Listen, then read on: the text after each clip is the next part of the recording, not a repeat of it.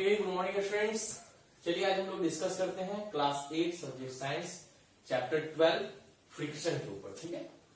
इससे पहले हम लोगों ने फ्रिक्शन के ऊपर दो वीडियो आपको दे चुके हैं और ये चैप्टर फिजिक्स का होगा, आप इसका फिर फिजिक्स में करोगे, इसका नोट्स आप फिजिक्स में बनाओगे, okay?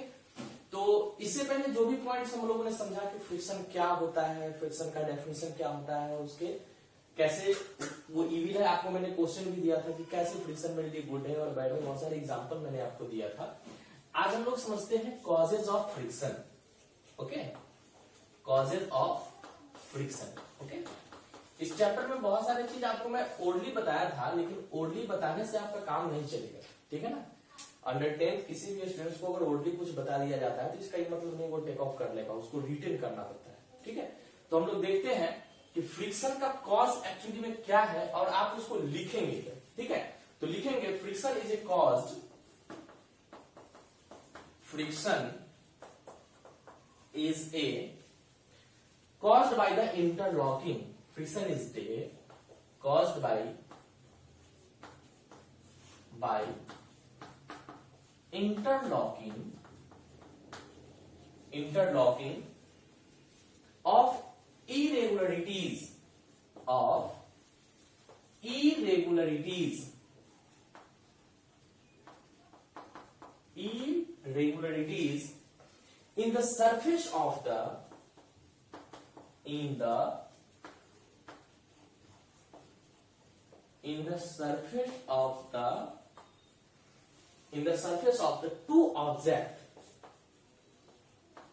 two object okay which are in the contact with each other which are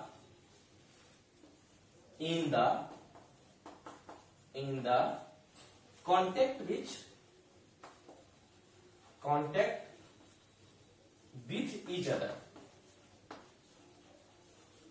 with each other okay जब दो सरफेस दो ऑब्जेक्ट एक दूसरे के में आएगा और उसके गैप जो होगा, जो उसके बीच इंटरलॉकिंग होगा, वो उसका फ्रिक्शन का सबसे मेजर कॉज यही अगर इंटरलॉकिंग नहीं हुआ और कांटेक्ट में नहीं आया तो फ्रिक्शन प्रोड्यूस नहीं हो सकता है। ओके चलिए आप लोगों को क्लियर दिख भी रहा है। अब हम लोग समझते हैं कि कुछ फैक्टर होते हैं जिसके फैक्टर के कारण आपका जो फ्रिक्शन है, वो इफेक्टेड होता है। तो हम लिखेंगे फैक्टर इफेक्टिंग हेडिंग बनाएँगे। Factor affecting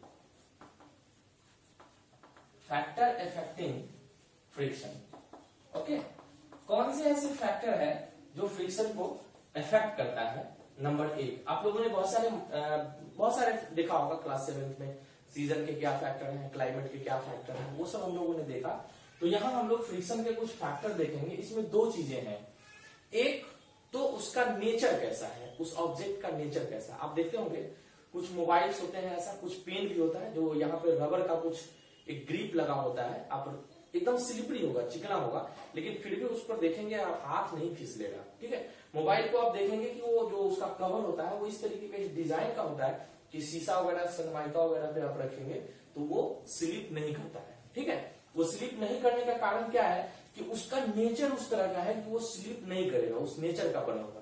तो हम पहला लिखेंगे the nature of the the nature of the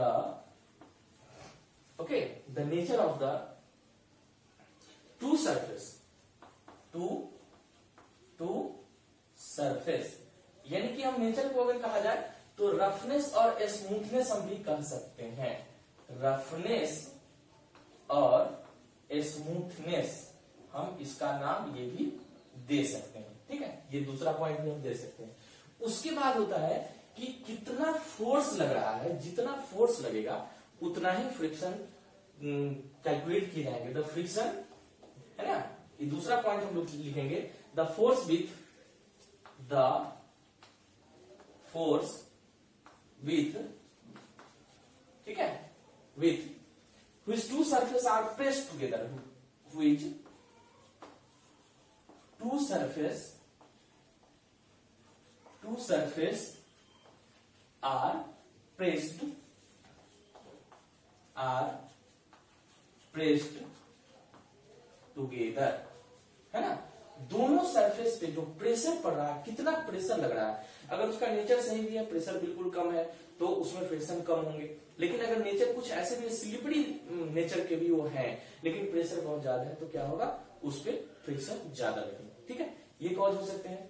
अब हम लोग देखते हैं कि टाइप्स ऑफ़ फ्रिक्शन हालाँकि हम ओनली टाइप्स ऑफ़ फ्रिक्शन आपको पिछले क्लास में हमने बताया है बट कहा मैंने कि ओनली से काम चलेगा नहीं आप लोगों का तो उसको रिटर्न फॉर्म में होना चाहिए, ठीक है? रिटर्न फॉर्म में होना चाहिए। आप इसको नोट करेंगे, ठीक? आगे हम लोग बढ़ते हैं। Types of friction okay types of of friction हमने आपको तीन तरह का फ्रिक्शन बताया था। आप जो देख रहे हैं माइंड में नोट करो, फटाफट रिवाइज करो, वो तीन तरह का कौन सा हम लोग टाइप्स ऑफ़ फ्रिक्शन बताए थे, सबसे पहले था कौन सा? स्लाइडिंग फ्रिक्शन नहीं, सबसे पहला था स्टैटिक फ्रिक्शन फिर था स्लाइडिंग फ्रिक्शन और फिर था रोलिंग फ्रिक्शन ठीक है?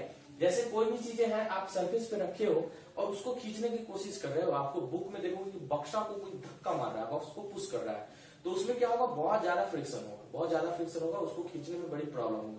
लेकिन उसी में दूसरा क्या है? एक स्लिपरी बना दिया गया बस ट्रक में कोई चीज़ चलाने के लिए जो हम लोग वुडन ब्लॉक्स रखते हैं वुडन जो कार्डबोर्ड रखते हैं, उस पर आप देखोगे कि उस पर स्लाइडिंग हो जाता है तो इजिली चढ़ जाते हैं फ्रिक्शन लेस हो जाता है। और एक होते हैं रोलिंग फ्रिक्शन जब पेंसिल वगैरह टेबल पे फिसलेंगे तो देखेंगे कि आप गुड़कते हुए रोलिंग करते हुए आगे की ओर बढ़ता है। तो फिर इस तीनों डेफिनेशन के आपको पूछ दिया जाए कि व्हाट इज़ स्टैटिक फ्रिक्शन तो आप लिखोगे क्या? ठीक है? तो लिखेंगे क्या? उसको हम लोग चलते हैं। पहला हम लोग देखते हैं, पहला है static friction okay static static friction static friction को हम लोग डिफाइन कैसे करेंगे? The maximum frictional force the maximum maximum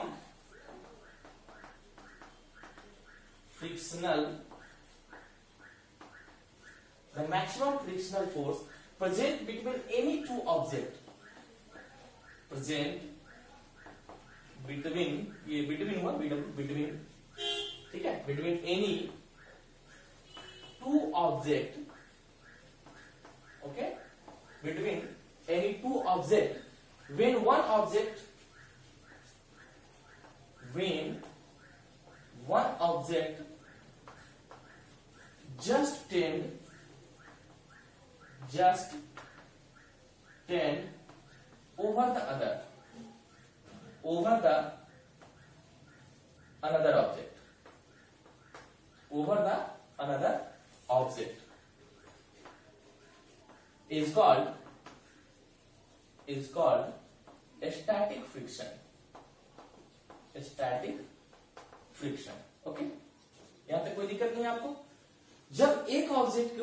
दूसरा ऑब्जेक्ट जब उस पर मूव करता है, और मैक्सिमम होते हैं, इसमें क्या होगा? मैक्सिमम फ्रिक्शन कैसा होगा? तो फ्रिक्शन मैक्सिमम होंगे मैक्सिमम सबसे ज़्यादा होगा। मैक्सिमम होगा, ये बात ध्यान रखिएगा। स्टैटिक फ्रिक्शन में मैक्सिमम फ्रिक्शनल फोर्स होंगे ओके हम लोग चलते हैं दूसरा स्लाइडिंग फ्रिक्शन के ऊपर। करेगा बिट ओके इसको आप नोट करेंगे सेम टू सेम आप नोट्स बनाएँगे, फिर इसके कॉपी में बनाएँगे, और इसको आगे होमवर्क में भी आपको सेंड करना है।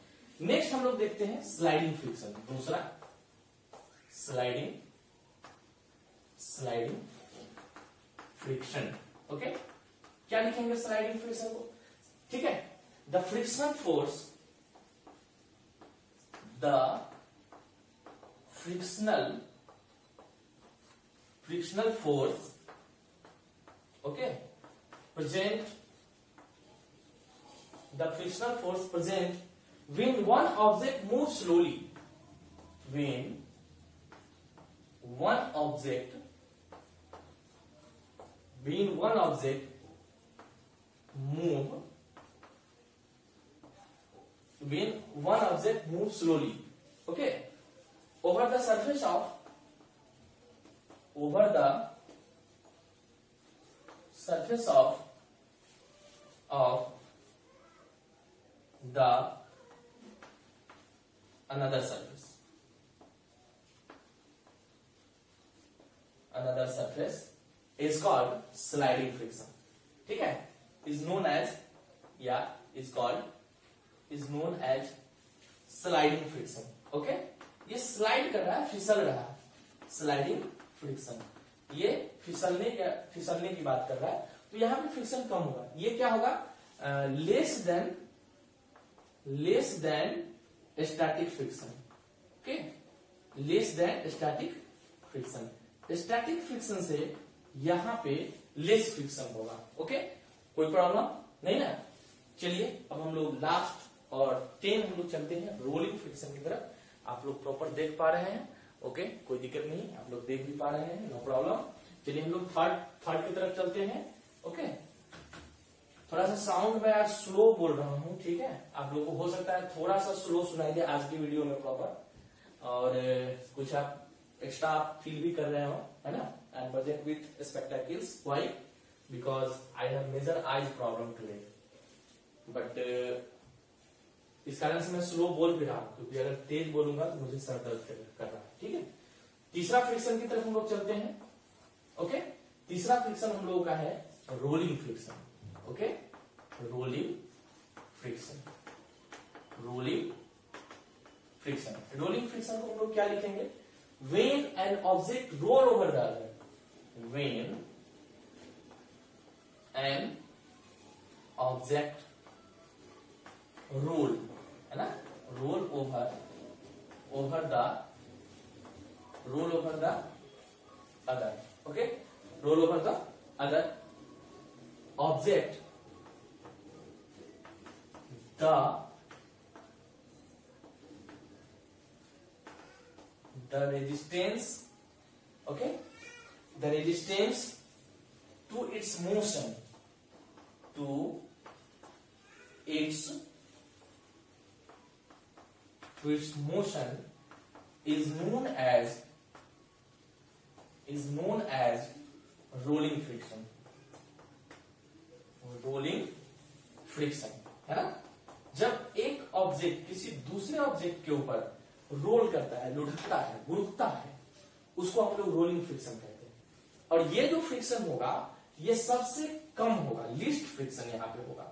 सबसे कम, है ना? लिस्ट फ्रिक्शन होंगे रोलिंग फ्रिक्शन में। आपको कभी कभी कहेगा कि अरेंज करिए, एक सीरियली अरेंज करिए तो उसको अरेंज करने के लिए ध्यान रखिएगा ये स्टैटिक फ्रिक्शन मैक्सिमम होते हैं। Sliding friction less than static friction और रोलिंग फ्रिक्शन लीस्ट फ्रिक्शन होता है, सबसे कम फ्रिक्शन होता है। यहाँ पे एक वर्ड आता है रेजिस्टेंस ठीक है? रेजिस्टेंस का क्या मतलब होता है?